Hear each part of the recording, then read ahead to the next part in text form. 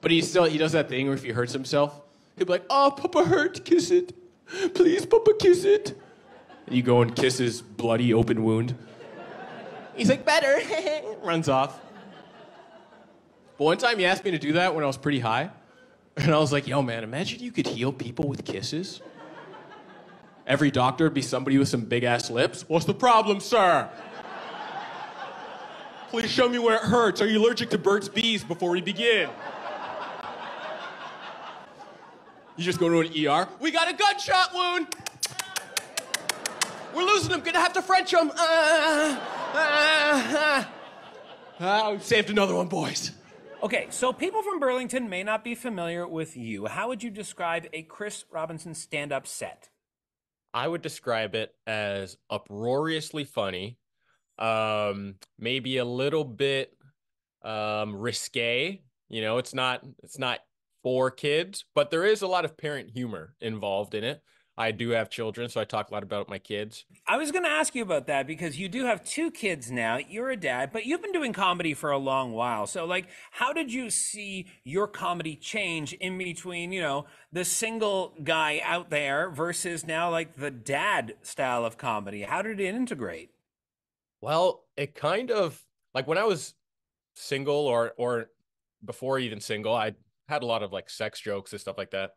And now with kids, that has transitioned into just kind of more of like a Louis C.K. style of like making fun of my kids and like, you know, not talking about how amazing they are, but the stuff that you off the most about them or um or funny things that they do.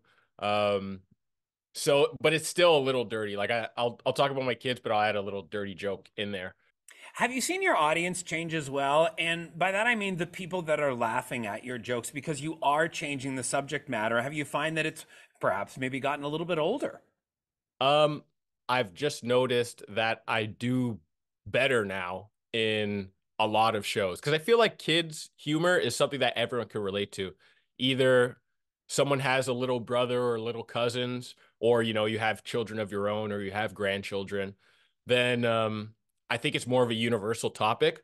So I feel like my comedy has become more universal with uh, being able to relate to lots of different um, demographics. So, I mean, we are Halton News. We cater to Halton in particular. Burlington, one of our focuses. You're going into Burlington uh, in a couple weeks' time. Uh, what do you expect from a Burlington audience? Ooh, honestly, I love Burlington audiences the Burlington Yuk Yuks is probably one of my favorite clubs to perform in because the crowd's always diverse.